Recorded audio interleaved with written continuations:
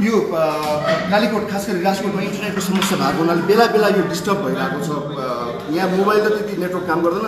Internet हामीले world लिङ्कको इन्टरनेटमा आएका थियौँ र वर्ल्ड सहयोग पनि गर्यो। यद्यपि त्यो इन्टरनेट कट भइरहेको छ त्यही पनि हामी तपाईँहरूलाई बेला बेला फेरि जोडिरहेको छौँ। डक्टर मुकुल ढकाल तपाईँहरू चिन्नुहुन्छ होला नचिन्नु भयो भने पनि। खास गरी विराटनगरमा हुर्किएका डक्टर मुकुल केही कामका लागि हेल्थ क्याम्पका लागि यहाँ आउँदाखेरि कालीकोटमा आठ घन्टा दस घन्टा हिँड्नुपर्छ यहाँका मान्छेहरूले मानमा जानका लागि डोकोमा राखेर अस्पताल लैजानुपर्छ भन्ने जुन उहाँहरूको टिमले देख्यो र अनि उहाँहरूको टिम कसरी अस्पताल बनाउने राजकोटमा भनेपछि पैसा उठाउने अथवा यो चिज जोड्नका लागि सबैलाई एक ठाउँमा ल्याउनका लागि रवि लामी छाने र रवि लामी छानेको टिम भएर हुन्छ भन्ने उहाँ भएपछि हाम्रो अस्पताल आएर हामीले यो सहकार्य सुरु गरेका हुन् र आज अस्पताल लगभग कम्प्लिट भयो होइन? अब अ, भवन कम्प्लिट भयो यसमा संरचनाहरू एक तर्फ संरचना एक तर्फ इक्विपमेन्टहरू भए पनि अब हामीले यसलाई सुधार गर्नुपर्ने धेरै यसमा यसमा सञ्चालनको बाटोमा हाम्रो धेरै कुराहरू जस्तो इक्विपमेन्टहरू यहाँनिर जति छ अब यो अहिले नै हामी रोक्यौँ भने यसमा यसलाई अझै सुविधा सम्पन्न बनाउँदै जानुपर्ने हुन्छ त्यही भएर जिम्मेवारी सकेको छैन। अस्पताल बन्यो त भन्दाखेरि अब अस्पताल त बन्यो तर अझै सोचेको आकारको अस्पताल अझै अझै अझै अझै लाग्छ। किनभने त्यो चाहिँ फेरि समयअनुसार अलिकति अपग्रेड गर्दै गर्दै जानुपर्ने कुराहरू हो। ल्याब ल्याबमा जस्तो हाम्रो ल्याब त्यो ल्याबलाई पनि अलिकति विकसित गर्दा ल्याबलाई एकैछिन विकसित गरेर हुँदैन। हाम्रो ल्याबको जुन म्यान पावर छ त्यो म्यान पावरलाई पनि त्यही अनुसार ट्रेनिङ दिनु पऱ्यो यहाँको हस्पिटलमा पनि हाम्रो जो स्टाफहरू छ उहाँहरूलाई पनि ट्रेनिङ दिनु पऱ्यो अब हाम्रो हामीले जुन संरचना बनाएको छौँ त्यसलाई भोलि अपग्रेड गर्न मिल्छ।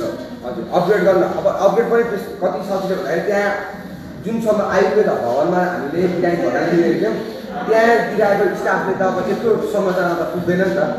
त्यही भएको कारणले अस्पताल भनेको भवन मात्रै नभएर अब स्टाफको कुरा पनि आयो थुप्रै कुरा पनि आयो।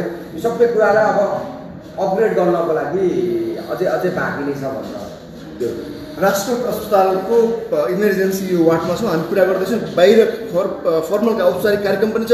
एकैछिन फेरि हामी औपचारिक कार्यक्रमतर्फ लाग्छौँ।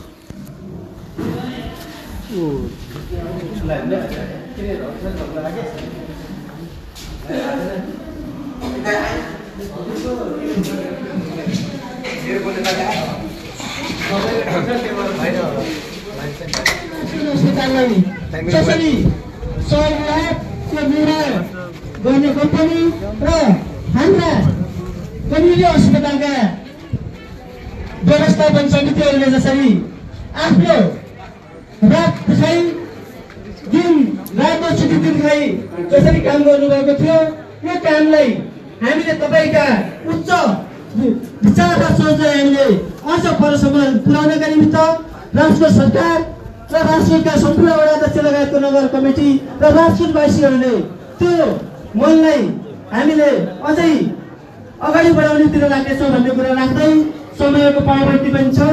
बाँकी कुराहरू हाम्रो नगर सरकारको पर्व लगायतले राख्नुहुन्छ भन्ने कुरा राख्दै मेरो यहाँ अन्त हस् नमस्ते धन्यवाद। हामी चाहिँ एकदम सुन्दर र सरल ढङ्गले हामी बोल्नेछौँ र धेरै लामो लामो गर्नुभन्दा पनि यस कार्यक्रममा हामी चाहिँ हाम्रो सिट आसन गर्ने क्रममा हामी अघि वडा अध्यक्ष अ, नआउनु भएको थियो र वडा अध्यक्ष हाम्रो कृष्ण कृष्ण प्रसाद धमलाज्यू र अमल सिंह ढोकाज्यू अझै पनि वडा अध्यक्ष कोही छुट्नु भएको छ नदेखि हुनसक्छ सिट आसन गरेर गरिदिनु अध्यक्ष मोहतराज्यू सिट आसन गरेर गरिदिनु म अनुरोध गर्दछु र आफ्नो भनाइ राखिदिनु हुन म नेपाली काङ्ग्रेसको तर्फबाट कमल सञ्जालज्यूलाई म अनुरोध गर्दछु कमल सञ्जालज्यू पार्टी प्रतिनिधि कमल सञ्जालज्यूलाई अनुरोध गर्दछु